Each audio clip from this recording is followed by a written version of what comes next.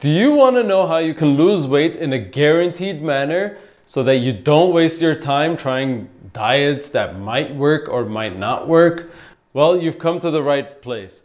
My name is Antranik and I make health and fitness videos all the time. So please subscribe now if you haven't already and let's get on with the show. The first concept you need to understand is very simple, the concept of calories in versus calories out.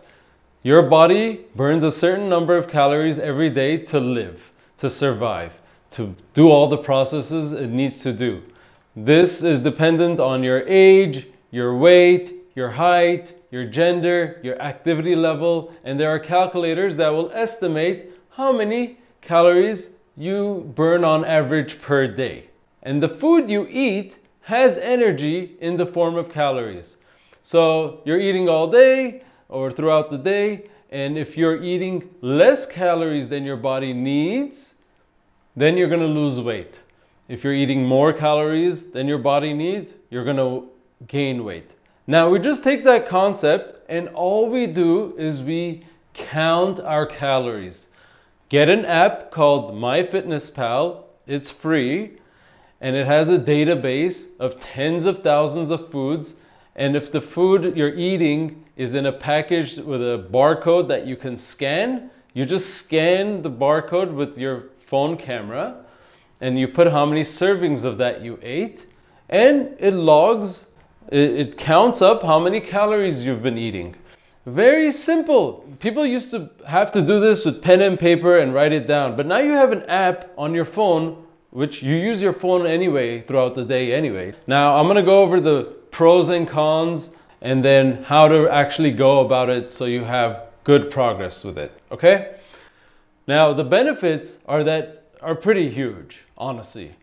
The biggest one that comes to mind is that you could eat whatever you want. You can have a bunch of ice cream if you want. You can have cereal if you want. But as long as you stay under a certain number of calories, all right? So the other thing that's very important, this is a lesson that's going to stay with you forever, is that it's going to teach you how many calories you're actually supposed to eat and how many you're actually eating. All right, this is huge. You might not realize that the breakfast you're eating is a massive amount of calories until you actually count them. Like you have to Go through this process to see where your excess calories are coming from. It'll make you more aware on so many things. You might not realize that you're snacking throughout the day until you do this. It's gonna make you super aware of when you're eating, why you're eating, what's causing the impulsiveness, what are the triggers. You're gonna start to notice patterns you never noticed before. And in that list, I wrote exercise is not necessary. Because whenever people want to lose weight, the first thing they think is, oh, I got to go to the gym. No, really. The first thing you got to do is control your diet, control how much you're eating. All right. And that's what's going to help you to lose weight. Everyone should be exercising regularly all the time, whether they're going to lose weight or they're trying to gain weight or whatever. It doesn't matter. That part should just be a constant presence in your life. But the diet part is what you need to get in check. Okay? Now let's go over the bad side of counting calories. Let's face it, it could be a little bit stressful to have to count or log everything that goes, goes in your mouth. Okay? It's a bit tedious, it could be cumbersome. However, it does get better with time. The first week, it might be annoying as hell, but when you start to see the results and you start to understand how much you're actually eating, this is an important lesson. This outweighs the negatives, okay? And I'm gonna be frank with you. The people who don't want to count their calories or just say this doesn't work for me without even trying often have the biggest issues because they're not facing reality. They don't want to face the reality that they're overeating and they just stop doing it. Okay, so you really need to be honest with yourself. If you actually want to lose weight, you gotta like actually want to be aware of where your excess calories are coming from and what it's going to take work to stop it. And honestly, we have the technology that makes it super easy. So enough with the excuses, all right? Now the other drawback is to be very accurate, if you're making food at home, you need a food scale. All right, so that you know if you're eating six ounces of chicken or 12 ounces of chicken, it's hard to gauge meat if you've never actually weighed the meat that you're cooking. All right, and then the other drawback is if you're eating out or eating out at a friend's place, it's hard to know how many calories are in that food if it's not in the database, right? However, I would always recommend you just round up to be on the safe side. All right? Now, how much of a deficit should you eat at? The general recommendation is that you should eat about 500 calories less than you need per day. Now, if you're a petite woman, 500 calories might be actually too extreme. Maybe 300 calories less, something like that, because you don't need as much to begin with. So it's a percentage. In terms of percentage, maybe you should be eating about 20% less per day. If you're eating 500 calories less per day, you're gonna lose about one pound of fat a week. All right, so just keep that in mind. It's a nice sustainable number for most people. Now, to ensure that you're on the right path, you wanna weigh yourself every week and you wanna do it under the same circumstances. So for me personally, I only weigh myself if it's morning time, I just pooped, but I haven't ate anything.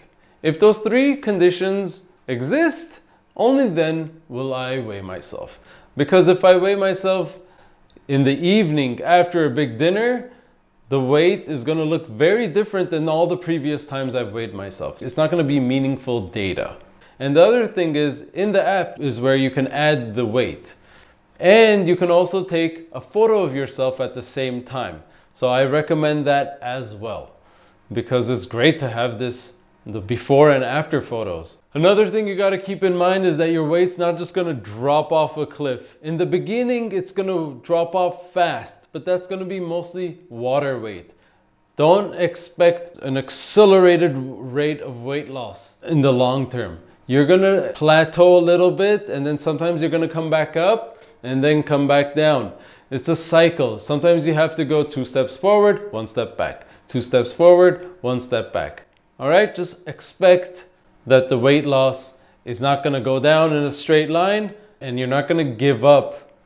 You're just going to stick to it because this is a numbers game. And that's another thing. You don't have to weigh yourself every day. Maybe once a week, maybe twice a week, but you don't need to obsess over it because you're going to lose weight very slowly over time and it's all about the long run.